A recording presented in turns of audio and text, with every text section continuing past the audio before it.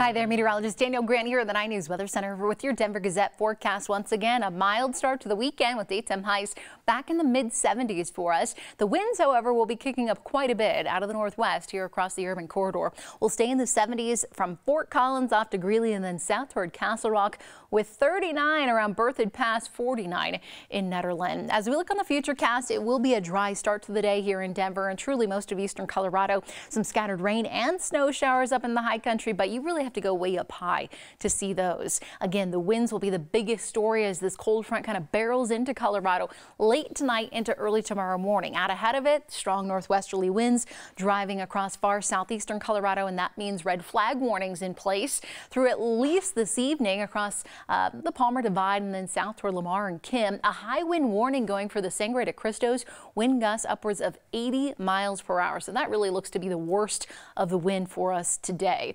As we look at the metro area, the cool front that arrives overnight that will drop off our daytime highs a bit on Sunday. Back to the mid 60s. Nice on Monday, Columbus Day, and then a stronger storm system rolls in Tuesday. Right now it looks pretty mild during the day and then later in the evening that cold front arrives bringing us rain, possibly a little snowfall mixing in overnight into early Wednesday. Right now it doesn't look like much in the way of accumulation, but it certainly will cool us off. It'll feel a little more like fall. Enjoy the rest of your day.